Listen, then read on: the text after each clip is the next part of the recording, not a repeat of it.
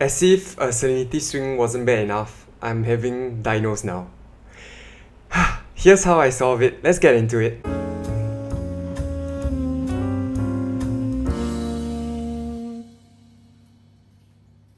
So if you've been following my journey, you would know that I've been battling cyano since almost the start of the tank. And just when I thought that the cyano were all gone, I started dealing with dinoflagellates, or dino for short. To be fair, I do not think that they are correlated.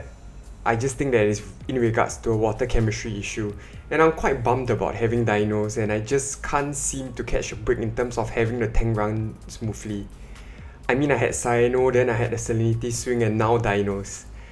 But that's Murphy's Law, where anything that can go wrong will go wrong. But anywho, I've dealt with Dinos before in my previous tanks, so this is not new. I thought I would do just a quick video on how to handle it and what to consider. It all started with some diatoms on the sand bed. I felt that it was quite strange that I had diatoms on the sand bed because usually they don't show up unless there's some form of silica that is introduced to the tank. So naturally I went to check check my RODI water because that's one of the key ways that silica actually enters your tank. And that was fine. It showed 0 TDS. So I was quite puzzled as to what was the cause. My nitrates and phosphates had not bottomed out, so the chances of dinos are quite low. Over the next few days, the diatoms seemed to get a lot worse and I didn't know why. But I just had a sinking feeling that it was dinos. So what I did was that I waited for the lights to go off at night, and true enough, the supposed diatoms were gone. That's one of the key signs that is dinos, and I had a sinking feeling and knew that it was most probably dinos. So with that, it started my battle with dinos. I want to do a video just to give a quick idea and guide on how to solve my specific form of dinos. And in no way am I saying this is the best way or the only way, but I just hope that this will be helpful for everybody who's battling dinos. So a quick overview of it, it is actually a form of algae that comes in many different forms. So some look like cyano, others look like bryopsis, and some look like diatoms.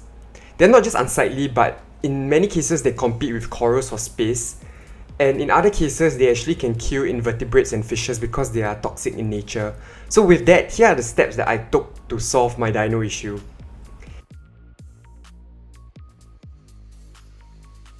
The first thing I told myself is do not panic. As per every kind of nuisance algae, it's important to not panic. So I had to assure myself that this was not the end of the world. It's just another bump in the road and I should not be panicking.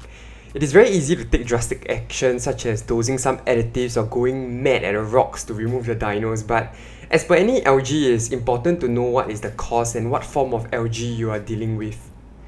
I've seen so many people leave the hobby because of dinos or some algae outbreak, and it's definitely heartbreaking to see your tank turn from this beautiful reef tank to a hot mess.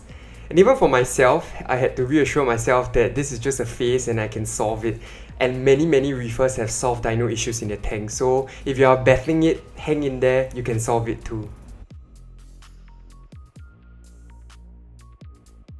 After calming myself down, the next step was to make sure that I had dinos and not some other form of algae. So this to me is one of the most crucial and important steps because the methods of dealing with dinos are largely different from dealing with other forms of algae and in some cases they are the direct opposite. And what I mean by that is that if let's say you have a green hair algae problem, the solution in most cases is to decrease your nutrients. But in the case of dinos, you usually want to increase your nutrients. It makes it so complicated because dinos look very much like other algae, so you need to be able to tell them apart. The only way to fully know if it's dino is to use a microscope you can never be 100% sure that it is dino unless you use a microscope because they look very similar to other forms of algae and they are almost indistinguishable to the naked eye. I hate to say that a microscope is almost a must because not everyone is able to get their hands on a microscope, but that is the only way to know if you truly truly have dinos. And to know that you have dinos is just a start. You need to know what form you have. Dinos come in many different types and different forms. So what I did was that I borrowed a microscope from one of my reefing friends and as you can see the circular round blocks are dinos. You don't have to match it with different forms of possible dinos using pictures to determine what form they are. And in my case, I have, um, I'm going to butcher the name, but it's pronounced as Amphiodinium. Am- Amphiodinium. I'm going to put the name right here. This form of dinos are largely on the sandbed, and when the lights go off, they go into the sandbed.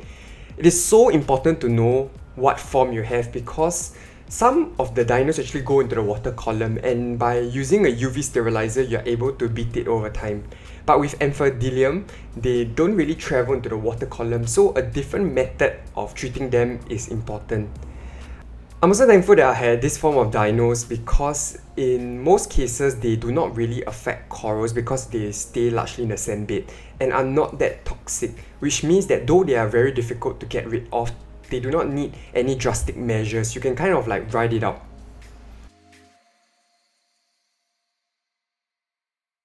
So once I knew what form of dinos I had, the next step is to figure out why I had it. Even as I'm filming this video, I'm not 100% sure why I have dinos. My phosphates have been stable at around 0.06 to 0.08 and nitrates are at around 10 to 11 for the past few months. And this just doesn't make sense because most of the time, dinos come about due to your nutrients being too low. The only conclusion that I can draw is that there is some issue with my test kit. So I decided to order a test kit from another brand and I will test it out and compare the results of both of my test kits to figure out if my test kits have not been accurate. Admittedly, in my Aquaforest coral food test, which if you all have been following, I've been testing out all the different coral foods, my phosphates did drop by 0.02 from an average of 0.09 to an average of around 0.07 to 0.06. But I honestly don't think this is the main issue.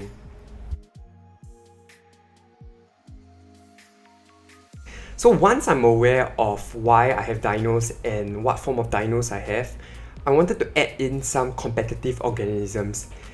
And this includes things like phytoplankton, copepods, and bacteria.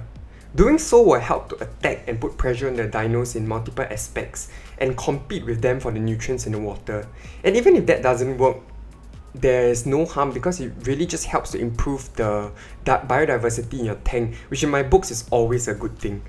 It is also important to note that even as you add in bacteria to be aware of your nitrates and phosphates as they may bottom out. So do ensure that they are at the right levels at all times. For me, I started testing every two days just to make sure that my nitrates and phosphates are in check.